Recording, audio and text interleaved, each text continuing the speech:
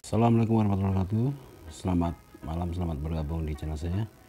Oke masih dalam seputar info kartu prakerja di tahun 2023 ini ya. Bagi teman-teman yang sudah menyelesaikan pelatihan dan Sudah menerima insentif ya di sini saya akan share ya bagaimana cara uh, solusi apabila insentif ke dua dan ketiga tidak muncul ya di sini di sini insentif saudara saya cair di ini ya tanggal 27 Juli 2003 dan insentif tambahan 30 Agustus ya. Dan ini untuk insentif ketiga ini belum muncul ya saat kita login.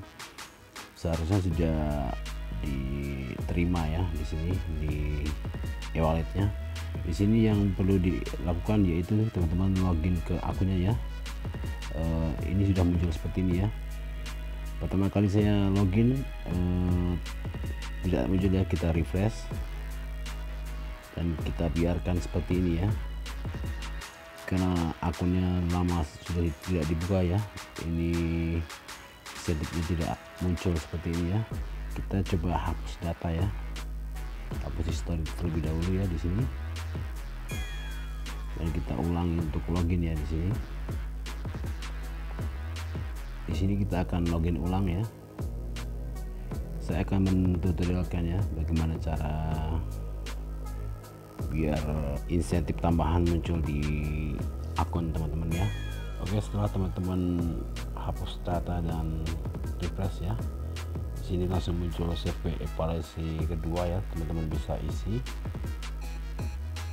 Kita tunggu loading ya kita jawab pertanyaan asal-asalannya di sini. Untuk bisa ini ya menerima insentif tambahan uh, videonya saya skip dulu ya